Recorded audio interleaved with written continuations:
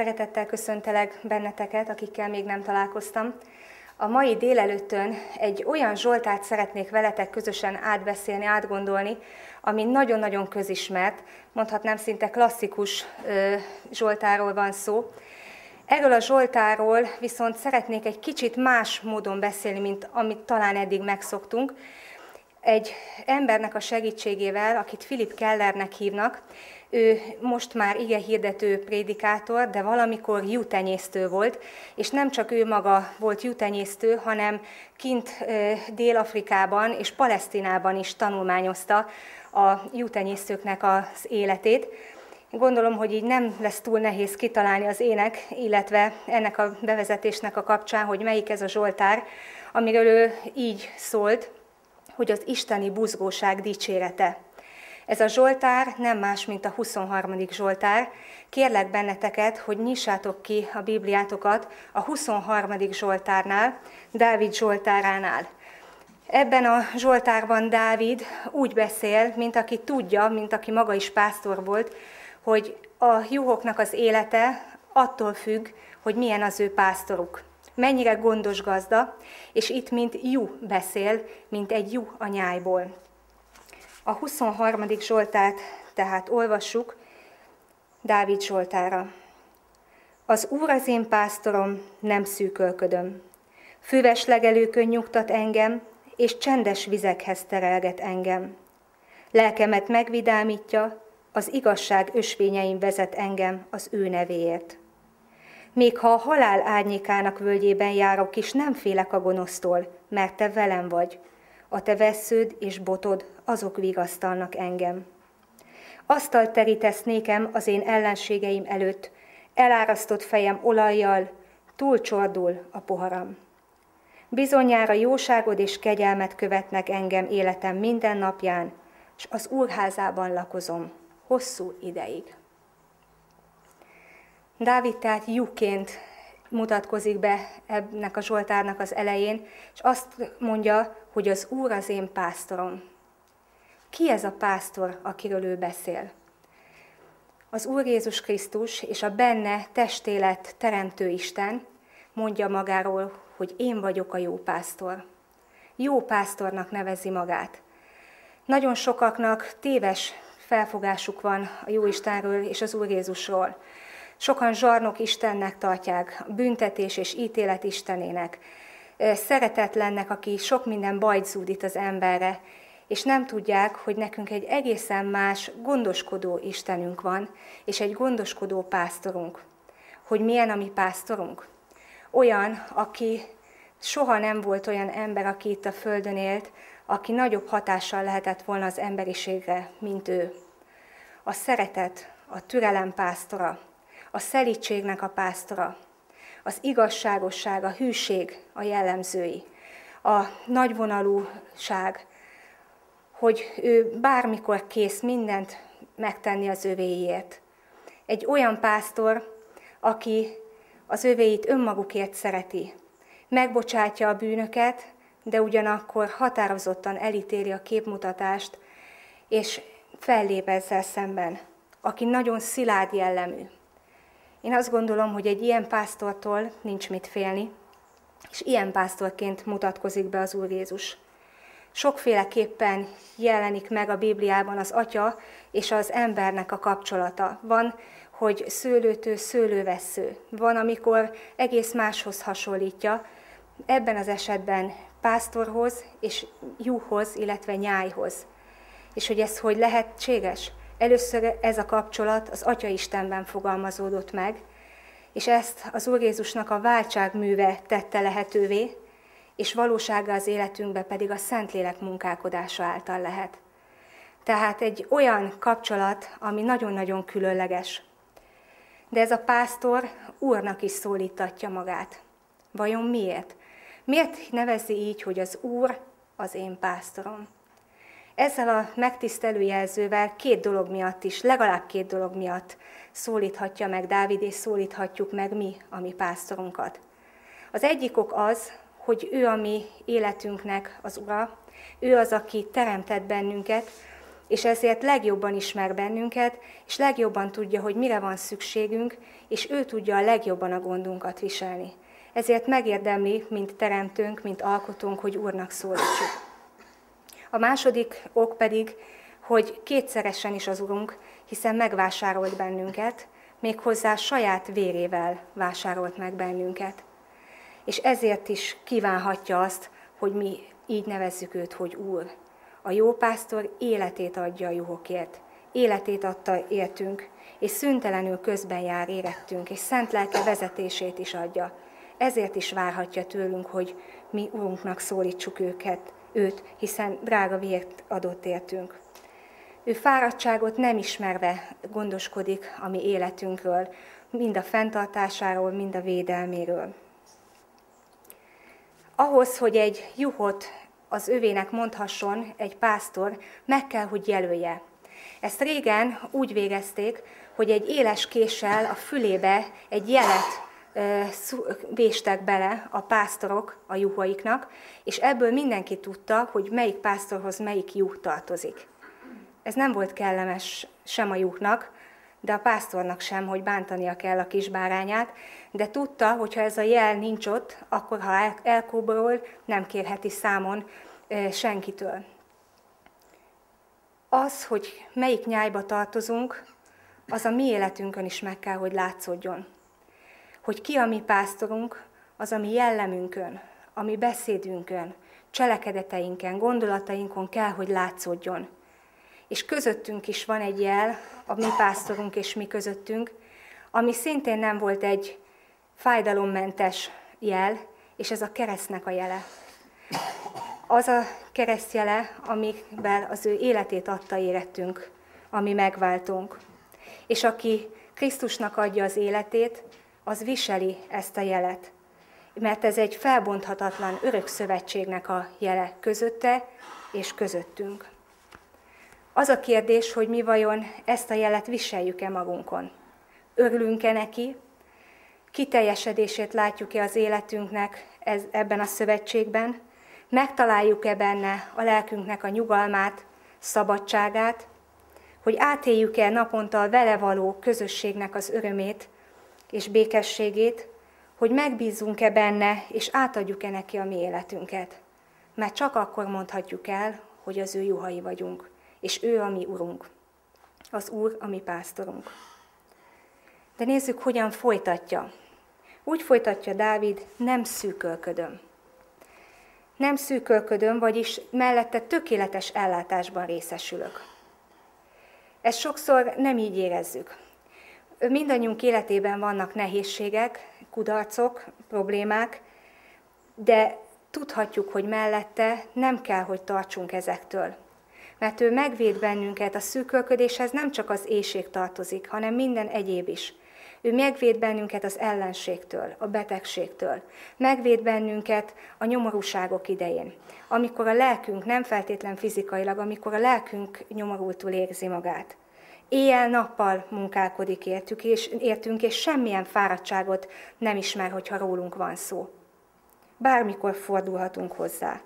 Megvizsgál bennünket, hogy nincs bajunk akár lelki, akár fizikai értelemben, és segít rajtunk képes arra, hogy mindent megadjon, amire valóságosan szükségünk van, hiszen ahogy említettem, ő a teremtőnk, és tudja a valóságos szükségleteinket. Csak mi hajlamosak vagyunk arra, hogy azt gondoljuk, hogy majd mi tudjuk, hogy nekünk mire van szükségünk. És nem biztos, hogy ez mindig egyezik az ő akaratával, és az, amit ő szükségünknek érez. De tudnunk kell, hogy amire a hitünk erősödéséhez szükségünk van, a jellemünk fejlődéséhez szükség van, az életünk fenntartásához szükség van. Azt ő mindenkor meg fogja adni, és megadja, és egy örök életre szeretne bennünket elvinni. Vannak azonban olyan keresztények, akiket sövény kereszténynek neveznénk, vagy félkeresztényeknek.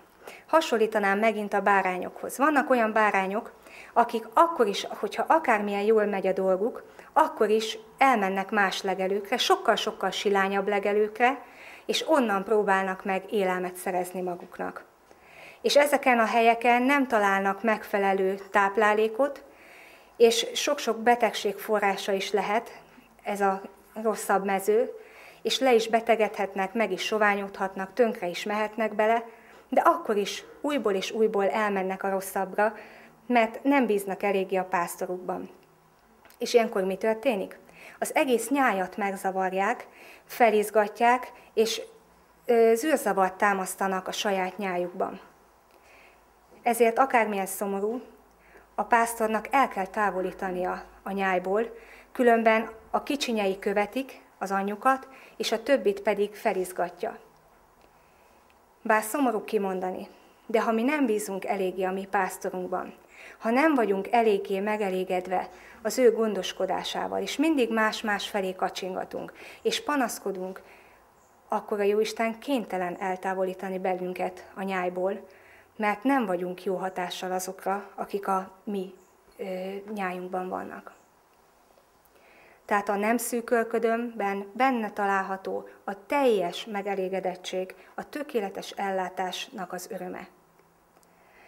Dávid így folytatja, füves legelőkön nyugtat engem. Tudnotok kell azt, hogy ahhoz, hogy egy juh le tudjon nyugodtan pihenni, ahhoz négy dolog szükséges.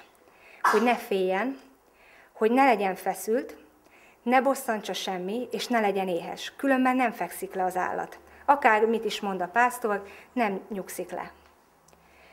A juhok nagyon-nagyon félénk állatok, bármilyen apró kis nesz, ami nem odaillő, bármilyen újdonság megijeszti őket, és akkor hajlamosak arra, hogy toporogjanak, izgatottak legyenek, megijedjenek, de hogyha a pásztornak ott a jelenléte, és ezt tudják, akkor abban a pillanatban megnyugszanak, és megnyugszik az egész nyáj. Mi is nagyon bizonytalan világban élünk. Minket is érnek csüggedések, bajok, betegségek, gondok, olyanok, amit nem is várnánk, vagy olyan helyről, ahonnan nem is számítunk rá, érnek kudarcok, és emiatt mi szorongunk, félünk, aggodalmaskodunk, vagy aggódunk, nyugtalankodunk, de hogyha ott van a mi pásztorunknak a jelenléte, akkor ebben a jelenlétben mi megnyugodhatunk, és biztosak lehetünk benne, hogy ő majd megóv bennünket a ránk leselkedő nehézségektől. Akkor nem fogjuk annyira sötéten látni a helyzetet, mint amilyennek előtte, vagy amilyen talán akár a valóságosan is, mert tudjuk, hogy ő neki van hatalma felettük. A másik, ami miatt feszültek szoktak lenni, és nem alszanak el, és nem fekszenek le a juhok, amikor feszültek. Hogy ennek mi a forrása? Mikor viszály van közöttük. A juhok is olyan természetűek, sajnos, mint mi, hogy szeretnek egy-egy jogot kivívni maguknak, és erre nagyon vigyáznak. El sem mernek aludni, nehogy az ő helyüket valaki elvegye. És innentől kezdve már is oda a nyugalom mi írunk, ha jól belegondolunk. És ez nagyon-nagyon romboló hatással tud lenni a nyájra. Nagyon nyugtalanná tudja a nyájat tenni. Az emberek között is végtelen, folyamatos küzdelem folyik, a har- és harc a pozícióért, az önös érdekért, a saját akaratnak a teljesüléséért, egy valaminek az eléréséért, és közben nem számít, hogy hány ember sérül meg. A keresztény embernek viszont az ismertetőjele a szelíd, alázatos megelégedettség. Elfogadom a helyem ott, ahova jó Isten állított. Ha Krisztussal élünk meghitt közösségben, akkor békességünk lehet. Miért? Mert kikapcsol bennünket a világi tülekedésből, és, és pénzhajhászásból, és előretörésből, ami ezt az egész világunkat most uralja és hogyha őrá figyelünk, akkor nincs időnk másra figyelni, hogy másnak hogy megy jobban, meg a másiknak miért jobb, mint nekem. A harmadik ok a bosszantás. A nyájat nagyon-nagyon tudja bosszantani sok-sok kis élősködő amik röpködnek körülöttük, vagy a bőrükre másznak, és annyira idegesek tudnak tőle lenni, hogy képesek neki menni fejjel a falnak, rázzák a fejüket, és akár komoly sérüléseket okozhatnak magukban, hogy megszabaduljanak ezektől az élősködőktől, amíg zavarják őket. És ezért a pásztornak ezeket a férgeket, élősködőket folyamatosan ki kell írtani belőlük. Nekünk is vannak apró bosszúságaink. Mi nekünk nem legyek, de azért szokták ezt mondani, elnézést a kifejezésért, hogy valaki beleköpött a levesünkbe, ha nem is a légy, de, de vannak olyan helyzetek, amikor minket is bosszantanak, vagy ingerültek vagyunk valami miatt, és ez nyugtalanít. De a Jóisten jelenléte és az ő szent lelkének a munkálkodása segít kiirtani belőlünk ezeket az indulatokat, érzéseket és helyzeteket. A, a negyedik, amit mondtam, hogy ha nem laknak jól, akkor sem tudnak nyugodtan pihenni. Nem tudom, tudtátok-e, hogy ö, olyan helyen vannak igazán jó juhtenyésztő területek, ahol száraz puszta terület van. Palesztina kifejezetten egy száraz, barna talajjal rendelkező terület, és itt vannak szinte a legjobb legelők. De akkor hogy tud rajta élni egy jó? Hát úgy, hogy a pásztor nagyon nagy gondoskodására van szükség, aki elmegy, és mielőtt elvinni a, a juhait oda, teljesen megtisztítja a földet, és mezőgazdasági ismeretekre van szükség, hogy mi mindent kell tennie azzal a földdel, hogy ez a juhok számára élhető legyen. Nekünk is megadja a táplálékot, de előtte dolga van. Meg kell tisztítania a mi szívünknek a talaját, a hitetlenség szikláitól, a keserűségnek a gyökereitől, meg kell tisztítania, majd utána felszántania a szívünk kemény talaját, belevetnie az igéjének a magvait, és az ő szent lelkének a harmatával meg kell öntöznie. És akkor elégít meg teljesen bennünket. Addig nem tud jó táplálékot adni nekünk. Csak így lehet gyümölcsöző a mi életünk. Miután a táplálékot megadta, vízről is gondoskodik. Csendes vizekhez terelget engem. A pásztorok tudják, hogy a nyáj ugyanolyan, mint az ember, hogy az ő szervezetüknek, a juhok szervezetének is körülbelül 70% a víz, mint a miénknek. Tehát ahhoz, hogy egészséges legyen a juh, friss legyen, ahhoz szüksége van sok-sok folyadékra, és tiszta folyadékra. És hogyha ez nincs meg, akkor nem csak, hogy nyugtalannak ezek az állatok, hanem elmennek, és ha kell, ha nem jó a gazdájuk, akkor pocsolyákból is isznak, és ezekben a pocsolyákban hemzsegnek az élősködők, ami megbetegíti a nyájat. Tudja a pásztor, hogy neki friss forráshoz kell vezetni a nyáját. Az emberi lélek is szomjazik. Nagyon-nagyon sokan vannak körülöttünk is, akár a mi lelkünk is, de a körülöttünk élőké is szomjazhat. És a Jóisten tudja azt, hogy csak a tiszta forrásból tudja ő ezt megelégíteni, a mi szomjazó lelkünket. Így mondja, ha valaki szomjúhozik, jöjjön én hozzám, és igyék. Ez a békesség, az elrejtettség és a biztonság helyszínét jelenti az ember számára, a tiszta víz, és a tiszta igazságot, az Isten igazságát jelenti számunkra, ami táplál, ami segít a döntéseinkben, ami az utunkon vezérel bennünket.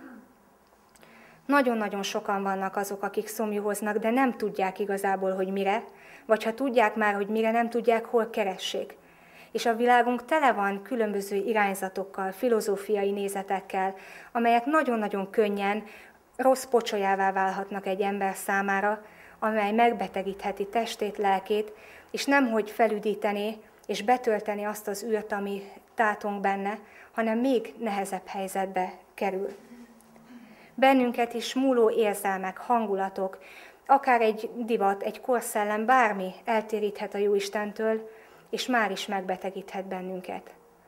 A tiszta forrás egyedül nála van, és ő erről képes gondoskodni, és gondoskodik is. Hogyan? Csendes vizekhez terelget engem. A juhok rövidlátóak, és a juhoknak nincs irányérzékük. Ezért kell, hogy terelgesse őket a pásztor. Lelki értelemben mi is rövidlátóak vagyunk, és minket is terelgetni kell, mert nem jó az irányérzékünk. Sokszor nem arra megyünk, amerre kellene, hanem eltémferegnénk más utakra. Ezért a Jóisten kénytelen terelni bennünket, és fogadjuk el, hogy ő ezt szeretné velünk tenni. A juhoknak sokszor annyi is elég, hogy a napi vízszükségletük meglegyen, hogy reggelente bemennek, elmennek a, a mezőre, egészen hajnalban, és a tiszta vizet, ami a harmadból jön, megisszák. És ez a reggeli harmat elég nekik. Nekünk is a reggeli órák együttléte az Istennel felüdítő lehet, és megadhatja azt, amire nekünk szükségünk van.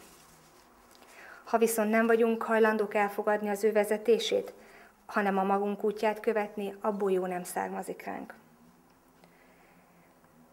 Dávid így folytatja, hogy ezzel együtt, hogy mindenünket megadja, a lelkünket is megvidámítja. Lelkemet megvidámítja. Úgy is fordíthatnánk régi fordítás szerint, hogy megújítja, visszahozza. Ugye ezről már sokszor beszéltünk a visszahozásról. Minket vissza kell vinni az Istenhez, mert a bűneset kapcsán mi mindannyian eltávolodtunk tőle. És csak akkor találjuk meg a lelkünk vidámságát és örömét és nyugalmát, hogyha a bűneinktől megszabadulva és azt ő előtte letéve, nála maradunk az ő közelségében. Ez persze nem jelenti azt, hogy mindig vidámak leszünk, hogy soha nem ér bennünket bánat. Dávid nagyon jól ismerte, mi az a kudarc, mi az a csüggedés, mi az a betegség, mi az a tehetetlenségérzés, mit jelentenek a háborúk kívül és belül. Ő tudta az erőtlenséget, a keserűséget tapasztalatból. És mégis azt mondta, hogy lelkemet megvidámítja. Gondoljatok Pálapostolra, aki azt mondta a Filippi börtönben, hogy örüljetek az Úrban mindenkor. Ismét mondom, megerősíti még egyszer, örüljetek. Lehet örömünk a nehézségekben is. Van egy angol, ősi angol jutenyésztési kifejezés, ami azt jelenti, hogy levert. Egy juh akkor levert, amikor ledől a lábáról, hanyat dobja a lábait, fölfelé emeli égnek, és nem bír fölállni. És kapálózik, rugdalózik, és ezzel együtt a melkasában egyre több levegő szorul, ezzel a vérkeringés egyre jobban leáll, és már képtelen megmozdulni is, és innentől kezdve, hogyha nem veszi észre ezt a pásztor, akkor elpusztul ez az állat. Egy darabig vergődik, utána már vergődni sincs ideje. Ismeritek ezt az érzést, a levertség érzését? És itt most nem csak a csüggedésre gondolok, és nem csak a szorongásra, ami kiszolgáltatottá teszi, nem csak az állatot, hanem bennünket is az ellenségnek, hanem amikor, amikor egy ilyen aggódó, depresszív ö, lelkület vesz rajtunk úrá. És ki tud csak segíteni? Nekünk is a pásztorunk tud segíteni. És nagyon nagy munkát kell a pásztornak tenni, ahhoz, hogy egy ilyen kis juhot helyrehozzon. Először is dörzsölgetni kell a lábait, hogy a vérkeringés helyreálljon. Talpra kell tudni állítania, de ez a kis állat megint le fog esni, mert még mindig nincs elég ereje. Akkor megint kell őt segítenie. Akkor már feláll, de még mindig bizonytalan. És hosszú időnek kell eltelnie, mire ezek az állatok ismét egyenesen tudnak járni. Nekünk is szeretetteljes gondoskodásra van szükségünk. Nem fogunk tudni valószínű elsőre fölállni. Lehet, hogy vissza-vissza csuklunk, de előbb-utóbb a Jóisten megsegít bennünket, hogy egyenesen tudjunk járni. És tudjátok, mikor bukunk el a leghamarabb? Amikor a juhok. Két nagyon fontos oka van annak, hogyha egy juh levert. Az egyik ok az, hogyha nagyon túltáplált és kövér, és ezért saját testsúlya lehúzza, a másik pedig, amikor a sűrű gyapja lehúzza, ami tele van ráadásul élősködőkkel, betegségforrásokkal. Nekünk is ez a két legnagyobb bajunk. Az egyik, amikor úgy érezzük, hogy lelkileg túltápláltak vagyunk, legbiztosabbak vagyunk önmagunkban és a mi hitünkben. És ilyenkor jönnek a nehézségek. Veszélyes nagyon nyugodt helyet keresni, mert akkor, hogyha nincsenek próbák az életünkben, nem tudunk tűrni, kitartani, akkor mi is nagyon hamar hanyat esünk. A gyapjú pedig, ami tele van betegséget okozó férgekkel és élősködőkkel, nem véletlenül az, annak idején a főpap semmilyen gyapjú ruhaneműt nem viselhetett, amikor a Szentek Szentében bement. Nem tudom, ezt megfigyeltétek-e. Azért, mert a gyapjú a bűnnek a jelképe is. Bennünket is sokszor a bűneink húznak vissza, és a pásztorunk minket is kénytelen kézbe venni, mint ahogy a pásztor a, a kis juhait, és megnyírja az ő bundájukat. Régen talán nem is volt ez olyan nagyon fájdalommentes, nekünk is az ige kardjával le kell nyírdosni rólunk azokat a dolgokat, amelyek megkötöznek bennünket. Ha ezt megtette, akkor már tud bennünket ö, tovább vezetni. Az igazság ösvényein vezet engem az ő nevéért. Az igazság ösvényein vezet, az ösvény az azt is jelenti, hogy egy kitaposott út, amelyen kerekek forognak. Ez a régi fordítás. A keréknyomokat természetesen más járművek, az akkori kornak a járművei követték, és egymás keréknyomaiban természetesen könnyebb volt az előrehaladás. Nekünk is van kitaposott ösvényünk, és nekünk is van kitaposott keréknyomunk. És ezeket a keréknyomokat az Úr Jézusnak az élete rakta le előttünk. Ő az, akinek, hogyha az életét követjük, és az ő példáját követjük, akkor erőt és képességet kapunk arra, hogy őt követve áldás lehessünk majd. A juhok viszont, megint csak hadd mondjam, hogy olyanok, mint mi. Szeretik azt csinálni, amit ők akarnak, és megrögzött szokásaik rabjai.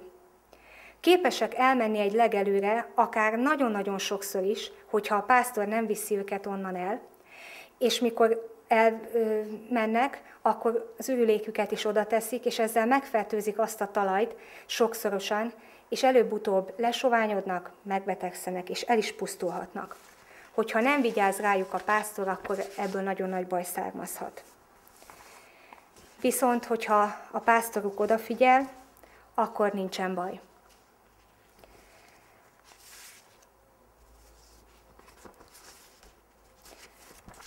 A, mi is sokszor csökönyösek és makacsok vagyunk.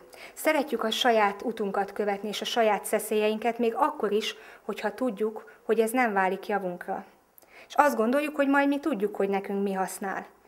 És mi a következmény? Nézzetek körül a világban. Feldult otthonok, tönkrement társadalom, beteg föld, és sorolhatnánk. Romlás és szenvedés mindenfelé. Viszont ha az ő igazságát követjük, amire ő hív, hogy tagadjuk meg önmagunkat, abból áldás fog származni. Ennek mik az ismertető jelei? Hogyha mi képszek vagyunk odaadni az életünket másokért, odaszállni magunkat, és az ő akaratának engedelmeskedni. Hogyha nem panasszal vagyunk tele, hanem hálával iránta, és az iránta, amit ő ad nekünk. Hogyha elfogadjuk azt a helyet, amit nekünk szánt, és nem akarunk juhok nyelvén szólva vezérürű lenni, hanem elég nekünk a sereghajtó szerep is. Hogyha le tudjuk tenni az életünket, és oda tudjuk szánni neki, akkor ezzel bizonyítjuk azt, hogy ő már az igazság ösvényén vezet bennünket. És hogyha kellő alázattal elfogadjuk az ő akaratát és az ő útján járni. És ez az út nem csak kellemes helyeken vezet. Hogy folytatja Dávid? Még ha a halál árnyékának völgyében járok is. Ez itt a Zsoltár fordulópontja. Eddig a karámnál vagyunk, és sok minden van a pásztor és a juhok körül. Ez a nyarat idézi, és ezt tudja Dávid, amikor csak a juh és csak a pásztor vannak együtt, hegyi legelőkön. Elviszi őket hegyi legelőre. Senki más nem megy velük. Innentől kezdve személyesen szól az ő pásztorához. Ez egy nagyon hosszú és vándorlással teli út, ami tele van veszélyekkel, völgyekkel, zuhogó patakokkal, tele van ellenséges állatokkal és nehézségekkel. De a pásztor tudja, hogy enélkül nem vezetheti a nyájat a magaslatokra, mert ezen az úton tudja csak biztosítani nekik a legjobb ellátást, a vizet és a megfelelő táplálékot, és csak ezen az úton juthatnak a hegytetőre. Mi is szeretnénk sokszor kitörni a világ zűrzavarából, és elhagyni a karámot, a biztonságba, a pásztor közelében lenni. És mi is, hogy úgy mondjam, hegycsúcs élményekre vágyunk. Mi is szeretnénk, hogyha minden nagyon szép lenne körülöttünk, hogy csak a pásztor és mi. De ehhez völgyeken kell keresztül menni. És az nem kérdés, hogy lesznek-e völgyek, lesznek-e nehézségek, mert lesznek. Az a kérdés, hogy ezeket hogy fogjuk mi túlvészelni. Minden hegynek tehát megvan a maga völgye. És itt említi a halált, ami, amitől nagyon-nagyon sok ember fél. És itt úgy említi, mint amitől nem kell félni, hiszen az az örökké valóságba vezető kapu lehet a számunkra, és egy sokkal-sokkal jobb világba vezető út, természetesen annak a számára, akinek a pásztora az Isten. Hogy hogyan birkózunk meg? Megbirkózhatunk úgy is ezekkel a völgyekkel, hogy ezek tönkretesznek bennünket, és belebetegszünk. De lehetnek az Istennel való élet magaslataira vezető utak amelyek tovább vezetnek, előre visznek, és a hitünkben erősítenek és fejlesztenek bennünket. Ez akkor lehet, hogyha elismerjük, hogy mindig velünk van, semmi nem történhet az ő tudtán nélkül, tudta nélkül, és hogy semmi bántódásunk nem eshet az ő jelenlétében, mert ő kezünkben tartja, kezében tartja a sorsunkat, és velünk van. És akkor nyugalommal tekinthetünk a jövőbe, és az előttünk álló nehézségekre, és akkor, hogy hálásan köszönhetjük meg ezeket neki. Nem beszélve arról, hogy csak azt tud mást bátorítani, aki maga is túlélt valamilyen nehézséget. Azt tudja megérteni és segíteni az embertársát. Tovább mennék a Zsoltárban, ami így szól. Elárasztott fejem olajjal csordultig van a poharam. elnézést. A te vesződés botod azok vigasztalnak engem a, amikor elmegy a pásztor erre a hosszú útra, két dolgot visz magával. Egy botot és egy vesszőt, ami nem igazi vessző, hanem egy furkós bot. Egy kis furkós bot, amit megtanulnak a kis pásztorok egészen gyerekkorban kezelni, hasonlóan, mint a bumerángot, amit két dologra használnak. Az egyik, hogy megvédi őket az ellenséges állatoktól, tehát védekező fegyverként használják, másrészt pedig az elcsatangoló juhokat szokták visszaterelni ezzel a furkos bottal, amit a mi Bibliánk veszőnek fordít. Mi is sokszor ellenség támadásának vagyunk kitéve. A sátánról azt írja a Szentírás, hogy mint ordító oroszlán jár és azt keresi, hogy ki tudjon elnyelni. De milyen jó, hogy van egy pásztorunk, akinek olyan fegyvere van, amivel szemben a sátánnak semmilyen fegyvere nem érhet célt, aki legyőzi ezt az ellenséget, és megvéd bennünket. De bár ezt nem szeretjük, de milyen jó, hogy fegyelmező eszközként is használja. Amikor elcsatangol egy jú, akkor fejbevágja ezzel a furkos bottal a kis bárányt, a pásztor, és ezzel együtt megijed és visszaszalad a pásztorhoz. Lelkiértelemben minket is időnként fejbe kell, hogy kórincson, mert magunktól nem jövünk rá, hogy rossz úton vagyunk. És az ő szent igényének úgy kell hatnia valóban, hogy a mi életünknek rávilágítson azokra a pontjaira, amelyek nem helyesek. Találkoznunk kell a viselkedésünk következményeivel, még ha ez fájdalmas is. Miért? Mert az a célja, hogy visszataláljunk a helyes útra. Szent lelkének a vezetésére van tehát szükség, hogy megmaradjunk az igaz ösvényen. A furkos bottal azonban azt is végzi, hogy megszámlálja a juhait, mielőtt kijönnek elé, illetve elhúzza a gyapjukat, és megvizsgálja őket, hogy nem betegek-e. Sok bárány kívülről egészségesnek tűnik, de a bőre tele van betegségre utaló nyomokkal és ezt is a furkos bot segítségével vizsgálgatja meg a pásztor. Elhúzza és megnézi. Mi is kérjük azt, hogy a mi pásztorunk vizsgáljon meg, ahogy Dávid kérte, vizsgálj meg engem, és ismerd meg szívemet. Ő behatol a felszín alá. Ő sokkal jobban ismer bennünket, mint mi magunkat, és bárki más ismerne. Szükséges, hogy akaratunkat, érzéseinket, gondolatainkat az ő kezek közé vegye, és hogy meggyógyítson bennünket azoktól az indulatoktól, gondoktól, gondolatoktól, érzésektől, amelyek talán más számára titkosak, vagy akár még a mi számunkra is. A másik, ugye említettem a furkon kívül a pásztorbot. Ennek is több szerepe van. Az egyik, hogy kapcsolatba hozza az állatokat egymással. Például a kisbárányt nem foghatja meg, mert ha megfogja, az anyja nem fog már többet vele törődni. Ezért oda kell, hogy húzza a kisbárányt az anyjához. Lelki értelemben a Szentlélek meghitt és személyes kapcsolatba hoz bennünket, és közösséget épít belőlünk, miközben Krisztushoz is közelebb vonz. A másik, amire használja, ezzel tereli a nyájat, és a harmadik, hogy az elcsatangolt juhokat, amik bajba kerültek, ugye mindenki ismeri meg, emlékszik arra a képre, amikor e, nagy kép ábrázolja az Úr Jézust, ahogy lehajol egy, egy ilyen kampós pásztorbottal, és egy bárányt próbál a sziklák közül kiemelni. Hát valami ilyesmire használja a pásztor az ő botját, és tudjátok, hogy hogyan? Úgy, hogy közben térdre kényszeríti, mert akkor az állat már nem tud tovább menni, és kénytelen őt követni minket is kell, hogy megragadjon a veszélyes helyzetekből, ahova magunkat sodortuk, a mi pásztorunk, és kell, hogy ha mi olyan helyzetekbe mentünk, ami, ami ránk nézve halálosan veszélyes, hogy kiemeljen és térdre kényszerítsen. Szükség van a térdre kényszerülésre, mert csak akkor tud megmenteni bennünket. És ezek után asztalt is terít nekünk.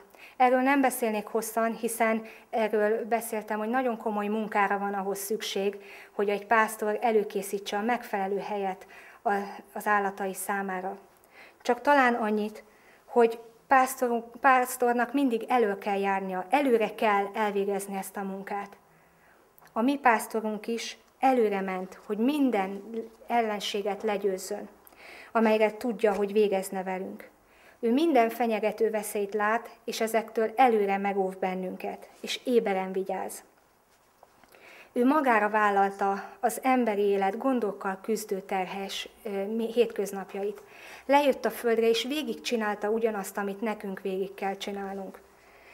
Jól ismeri a terepet, és világosan látja az ellenséget, de a megoldást is. Ő neki végig kellett csinálni a gecsemáné kerti magányt és a Golgota szenvedéseit is a teljes önfeláldozásnak a jelképeként, ami a szeretetét fejezte ki.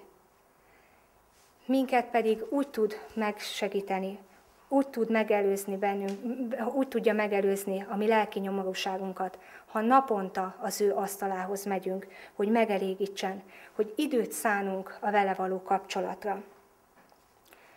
De van egy másik jelentése is ennek a szónak, hogy asztal terítesz.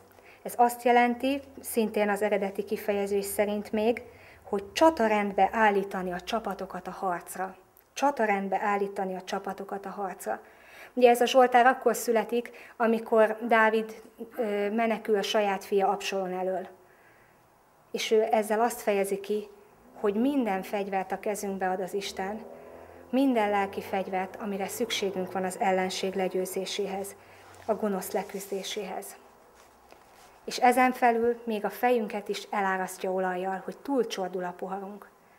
Er-, erről abban a vonatkozásban szoktunk beszélni, hogyha egy királyt felkennek, vagy valamilyen magas tisztségre kineveznek valakit, akkor bekenik a fejét megfelelő illatos olajokkal. És ezzel felkenik, alkalmassá teszik, kinevezik egy bizonyos posztra.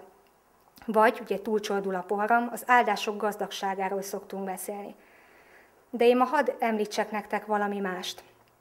Megint visszatérek a juhokhoz. A nyár a legyeknek a korszaka is, az úgynevezett orlegyek időszaka. Ezek az orlegyek elmennek a júnyájak közelébe, és a legyek óra körül kezdenek el röbdösni, és amikor röbdösnek az orruk előtt, akkor előbb-utóbb bemásznak az orrukba, fel az agyukig, ott lerakják a lárváikat, amikor, amikor kikelnek, akkor nagyon-nagyon komoly gyulladásos betegségeket okoznak, amiben bele is vakulhat, vagy el is pusztulhat a bárány. És mikor ezek a legyek befészkelik és berakják a peteiket a, a bárányok órába, illetve az agyába már fölmennek, akkor ezek az állatok borzasztóan szenvednek. Annyira szenvednek, hogy képesek bárminek neki menni, amint említettem is, hogy, hogy megszabaduljanak tőle, és semmi nem használ, mert, mert ez borzasztóan kínozza őket, és, és el, saját magukat is elpusztíthatják. Egyetlen ellenszer van. A pásztor tudja ezt, hogy amikor megjelennek az orlegyek, egy kenőcsöt készít. Tudjátok miből? Lemmagolaj, kén és kátrányból. És ezzel keni be a juhoknak a fejét, és ez távol tartja ezeket az orlegyeket, hogy ne támadja meg őket. Bennünket is érnek apró, jelentéktelen bosszúságok, amelyek gyulladásos sebeket tudnak okozni a mi szívünkben és elménkben. Nekünk is szükségünk van ilyen olajos kenetre. És kinek a jelképe az olaj a Bibliában? A Szentlélek jelképe. Szükségünk van a Szentlélek jelenlétére, és a Krisztussal való személyes meghitt kapcsolatra, hogy még mielőtt ártanának nekünk, azelőtt megvédjen bennünket. A másik, ami ellen használja ezt a, ezt a kenőcsöt, az a rűh. A rűh még veszélyesebb. Az teljes nyájakat pusztíthat ki, és a fertőzött állatokat teljesen bele kell mártani ebbe az olajba. Nem elég csak a fejüket, hanem többszörösen a teljes állatot egy ilyen olajos kenetben végig kell, hogy kenjen a pásztor, hogy megvédje őt. És tudjátok, hogy hogyan terjed a rű az állatoknál? Hogy szeretetből, nem bántásból összedörgölik a fejüket, és a rű a fejen támad először. És amikor a fejen támad, akkor egyik állatról pillanatokon belül a másikra kerülhetnek ezek az élősködők, és megbetegíthetik. Mi is szeretetből sokszor olyan emberekkel dugjuk össze a fejünket, akik nincsenek jó hatással a mi gondolatainkra, mert elterelnek a jó Istentől. Olyan eszmék, érzelmek és döntések születnek bennünk, amikkel mi foglalkozunk. Úgy formálódunk, hogy emberek gondolkodása van ránk hatással.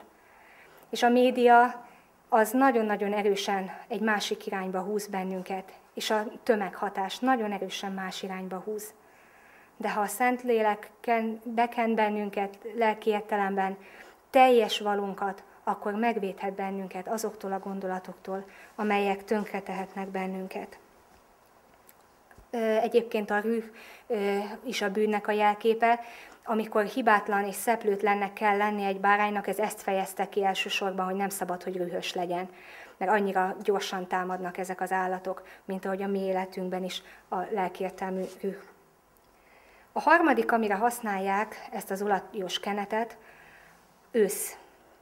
Már ősszel járunk, amikor a csatazaj hallatszik, úgy, mint a bikáknál szarvasbőgés idején, amikor vetélkednek a kosok, és összeverik a fejüket, és sokszor komoly sérülést okoznak egymással, egymásnak. Megsérülnek, sőt elpusztulhatnak. Ilyenkor is azt csinálja a pásztor, hogy bekeni a fejüket, hogy elcsúszson egymás mellett.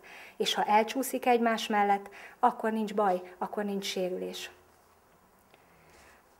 Az Isten népén belül is vannak összecsapások mikor csökönyösen mindenki a saját akaratát keresi, mikor verseng, féltékenykedik, türelmetlen, szeretetlen, mikor dogmatizálja a másikat, amikor, amikor büszke vagy öntelt, csak úgy döfködi a másikat. Ugye ez is ismerős. Ilyenkor is mire van szükségünk? Hogy ne kapjunk sebeket, és ne is osszunk sebeket? A Szent Lélek jelenlétére. Mert ahol ő ott van, ott a szeretet, a béke és az öröm foglak helyet vetni, akár személyes, családi és közösségi életünkben, akár mint gyülekezeti közösségi életünkben. És miután elmondta a megfelelő segítségeket a Dávid, így fejezi be, bizonyára jóságod és kegyelmet követnek engem életem minden napján. Ez a teljes megelégedettség és nyugalomnak a kifejezése hogy egész évben tapasztalta a gazda éberségét, figyelmét, törődését, gondoskodását, jóságát, irgalmát és figyelmét. És hogyha mi is ezt ki tudjuk mondani, akkor boldog lehet az életünk, mint ahogy ez is erről tesz tanúbizonyságot. De mindig ebben a meggyőződésben élünk. Amikor a próbák elérkeznek a mi életünkben, mikor széthullik minden körülöttünk, akkor is ki tudjuk mondani, hogy hálát adunk neki az ő vezetésért és gondoskodásáért? Mert nem mindig tudjuk megérteni az ő rendeléseit és döntéseit és bölcsességét.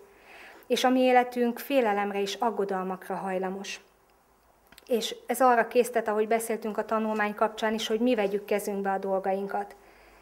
De nyugalmunk csak akkor marad meg, ha az ő kezébe tesszük le a mi életünket minden napon, mert ő tudja, mire van a legjobban szükségünk. És hogyha ez így van, akkor ezt tovább kell adnunk. Kérdés, hogy mit árasztunk magunkból. Hadd mondjak egy idézetet. A keresztények közti szeretet hiánya teszi ma az egyházat ilyen unalmas, langyos intézményé. Az emberek jönnek, hogy szeretetre találjanak, és csalódottan távoznak, mert langyos unalmat észlelnek.